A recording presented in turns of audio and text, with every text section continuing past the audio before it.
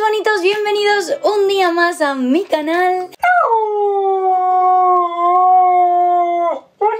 ¿Qué te quiero yo? Muy bien, mi amor, toma, toma, un regalo. Para los que no me conozcáis, yo soy Ana, encantadísima de teneros aquí en mi canal Bananitas. Antes que nada, recordaros que me podéis seguir en todas mis redes sociales, Bananitas Everywhere, y escuchar toda mi música bajo el nombre de Ana Linares en Spotify y en iTunes. Aquí en YouTube, en mi canal secundario de música, en todas las plataformas musicales. Y además tengo una noticia y es que el día 2 de abril sale mi próximo single Quédate, que es precioso, impresionante, de verdad estoy enamoradísima de él y tengo millones de ganas de que lo escuchéis. Y además tengo otra noticia más y es que estreno web, ya tenéis mi web musical disponible, es analinares.com y es una web en la que podéis encontrar toda mi música y pronto habrá una gran sorpresa ahí también, así que estamos llenos de sorpresas y por eso he estado tan desaparecida, pero aquí estoy. Ya os dije que no iba a dejar el canal y no lo voy a dejar, simplemente que me cuesta un poquito más gestionar todo el tema de fechas y puede que no haya un vídeo a la semana, pero seguro va a haber un vídeo como mínimo al mes y siempre que pueda va a haber uno a la semana como antes. Y hoy he decidido traeros un vídeo que me pedisteis mucho cuando pasó y que no pude hacerlo por todo este lío que os cuento del single, el videoclip, la web y todo eso. Pero tenía ganas de contároslo porque la verdad es que ahora la historia es bastante divertida, entre comillas. Pues en su momento no fue nada divertida. Pero bueno, ahora que ya ha pasado, que ya estoy bien y todo, la verdad que es divertido contarlo. Y vengo aquí a contaros la historia de cómo me partí la ceja en Colombia.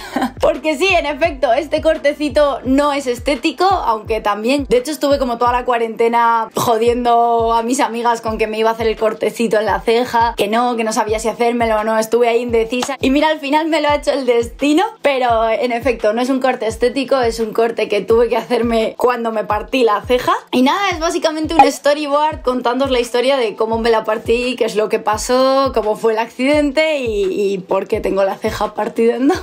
Creo que esta es una historia bastante curiosa y divertida de contar. ¿Y a ti qué te pasa? Muchos en mi Instagram que subí este story en el que me había partido la ceja. Hay muchos me preguntasteis, me dijisteis que hiciera un vídeo contando. Mejor tarde que nunca os traigo después de ¿qué? Un mes y pico, historia de cómo me partí la. Yo estaba en Colombia haciendo música, porque como sabéis, yo hago música en Colombia, mi hermano vive ahí, entonces me voy unos meses, trabajo en mi música, porque la verdad es que conozco a gente increíble, unos estudios increíbles y unos compositores brutales, y me encanta ir a hacer mi música ahí porque me entienden muy bien y encuentro mi sonido muy fácilmente. Entonces decidirme dos meses a Colombia para trabajar en mi música, que se viene prontito un gran proyecto súper guay, así que estar atentos. Nada, me fui a Colombia. Entonces paso gran parte del tiempo en los estudios de Bogotá y gran parte del tiempo en los estudios que hay en Cartagena, que Cartagena es una ciudad de Colombia que es maravillosa, que la amo, que es mi ciudad favorita en Colombia. Normalmente cuando voy a Cartagena suelo ir unos días antes, entre semana, y luego mi hermano suele venir para pasar el fin de semana conmigo y turistear en Cartagena, que nunca está de más. El caso es que en efecto yo fui unos días antes a Cartagena y estuve componiendo unos singles con los chicos de Pasa Pasa, que les amo, o sea, les adoro y me encanta hacer música con ellos, es lo más. Y la idea en Cartagena era hacer un número de singles y un videoclip, que espero que salga este verano y podáis ver. Yo llegué el martes, estuve todos los días en el estudio haciendo mi música tranquilamente, llegó el fin de semana, me lo pasé súper bien con mi hermano, fuimos a las islas que están cerquita de Cartagena, todo el viaje iba maravillosamente,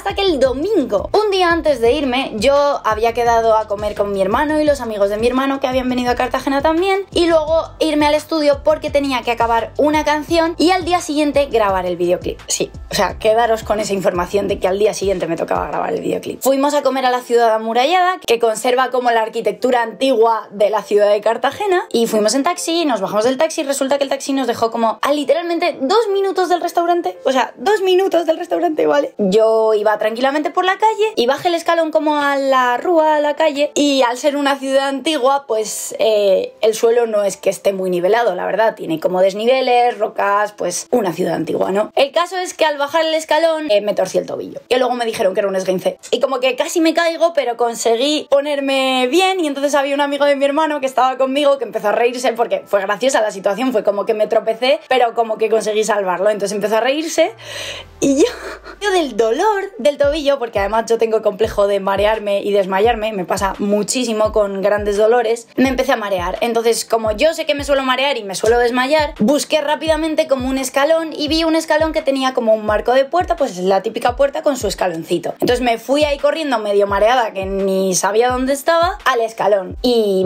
me desmayé antes de llegar al escalón.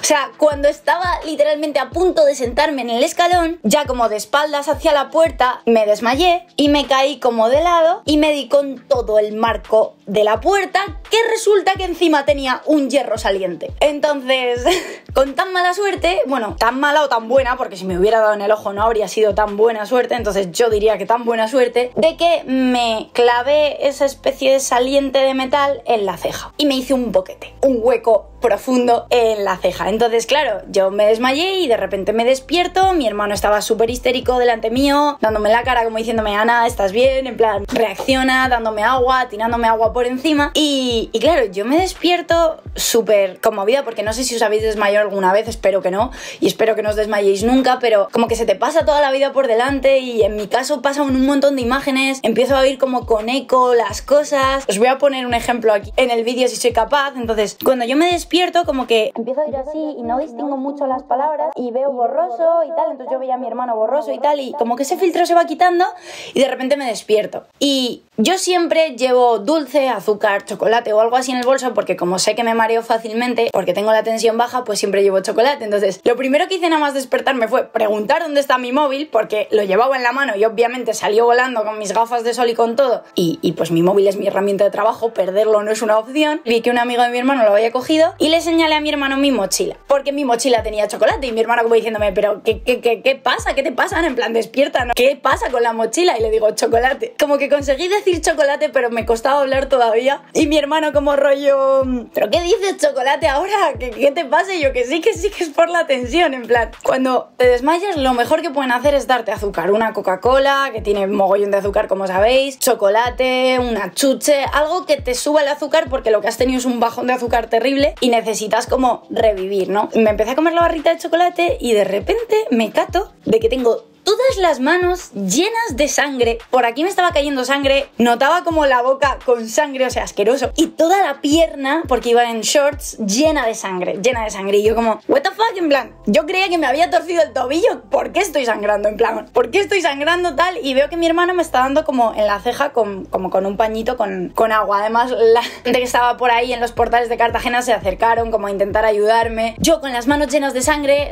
me empiezo a tocar aquí, veo más sangre y yo, ¿qué me pasa? ¿Qué me pasa? En plan, ¿por qué tengo sangre? Me he hecho una herida y mi hermano, sí, te has hecho una herida en la ceja, tranquila, respira, incorpórate. Entonces bebí agua, me comí la chocolatina, me limpié la sangre y obviamente mi hermano empezó a decir que fuéramos al hospital, que fuéramos al hospital y yo no quería ir al hospital bajo ningún concepto. Aparte de que en esto yo todavía no había caído y es que no tenía seguro de viaje. O sea, ya os aviso de por sí de que si os vais de viaje cojáis un seguro de viaje porque yo no tenía seguro de viaje y ni siquiera sabía que tenía que tener un seguro de viaje, ¿sabes? No es algo que me hubiera planteado, aunque tendría que haberlo hecho, claro, en efecto, pero no lo hice. Entonces, ¿qué pasa si no tienes un seguro de viaje? Que tienes que ir a una clínica privada de urgencias y te cobran un ojo de la cara. Entonces, a mí, por ponerme puntos, porque necesitaba puntos, me iban a cobrar un ojo de la cara. Pero ese no era el motivo por el que yo no quería ir al hospital. Yo no quería ir al hospital porque en una hora y pico había quedado en el estudio para acabar la canción y era el último día que tenía para acabar la canción y yo solo quería acabar la canción. O sea, solo me importaba terminar la canción antes de irme. A todo esto, no nos olvidemos que al día siguiente tenía que grabar el videoclip. Me levanto y le digo a mi hermano, no quiero ir al hospital, vamos a una farmacia, me compro un, un punto de mariposa de estos que son como puntos que se pegan y me compro uno de esos, me compro alcohol, me lo limpio y ya está. A ver, yo no había visto mi herida. Yo no era consciente de que tenía un boquete. Yo creía que simplemente con una tirita se arreglaría. Y mi hermana, como estás loca, como no vamos a ir al hospital, ¿qué te pasa? Tal. Y yo estaba muy agobiada, muy rayada, porque me acaba de partir la ceja y quería ir al estudio y estaba jodiéndoles el viaje a todos, ¿no? Estaba como en, en esa situación. A todo esto tenía el tobillo torcido también, claro, porque me había hecho un esguince de primer grado. Pues nada, fuimos a una farmacia y en la farmacia, aparte de que no tenían puntos de mariposa, obviamente me dijeron que me fuera al hospital corriendo. Y yo no me quería ir al hospital, así que compramos unas gasas, me las limpié, como íbamos a comer, dije, estáis todos muertos de hambre, vamos a comer y pensamos lo que hacemos bien. Me limpio la herida, vemos cómo de grave es y tal. Entonces nos fuimos a comer. Durante la comida obviamente no comí nada porque se me quitó todo el hambre de golpe. Incluso me puse a llorar porque me agobié un montón, porque empezaba a ver que era que tenía que ir al hospital, no iba a poder ir al estudio, no tenía seguro de viaje, por lo que me iba a salir un ojo de la cara, los puntos. Tenía una brecha en la ceja y un esguince y al día siguiente tenía que grabar un videoclip bailando. en el que tenía que salir mi cara. Entonces, bueno, me empecé a agobiar, me puse a llorar, lo pasé fatal y le empecé a decir a mi hermano que no quería ir al hospital, que no quería ir porque pues iba a costar muy caro y porque no era tan grave y porque yo quería ir al fucking estudio. Y mi hermano, obviamente, como persona responsable, decir, tú eres tonta, ¿qué coño te pasa en la cabeza? ¿Cómo no vas a ir al hospital? Nos vamos al hospital ahora mismo. Y a todo esto llegó mi salvadora, que era una amiga de allí de Cartagena de mi hermano, que llegó a comer con nosotros, vio lo que me pasaba y le dijimos la situación en la que estábamos y nos dijo que tenía una amiga oftalmóloga. Y entonces, claro, dijimos, ¿cómo? ¿Que tienes una amiga oftalmóloga? Espera. Básicamente, esa amiga oftalmóloga la llamamos y le dijimos que si me podía poner los puntos, que la pagábamos. Pero claro, no lo mismo que cuesta una urgencias sin seguro médico, sino que la pagábamos a ella para que me curara y me diera los puntos. Todo súper gitano, pero la chica era médico, o sea, podía hacerlo. Entonces la llamamos, me llevó como a su clínica, me puso los puntos y me dijo que me comprara una tobillera para el pie y cuando llegara a Bogotá iría al fisio de mi hermano para que me mirara bien el pie. Entonces, en efecto, eso es lo que hicimos. Me fui al hospital, me pusieron tres puntos porque eso era un fucking boquete. Me lo tapó, me dijo lo que tenía que hacer para desinfectármelo, me mandó unos antibióticos y unos antiinflamatorios. Y cuando salí de ahí con el ojo hinchadísimo, por cierto, le dije a mi hermano que quería ir al estudio. Iba tres horas tarde, pero por lo menos podía ir y acabar la demo de la canción, que es lo que yo necesitaba para quedarme tranquila. Entonces, mi hermano me dijo, vale, ve al estudio, yo todo drogada porque me acababan de mm, dar un antibiótico, entonces estaba bastante drogada. Eh, cogí un taxi y me fui al estudio.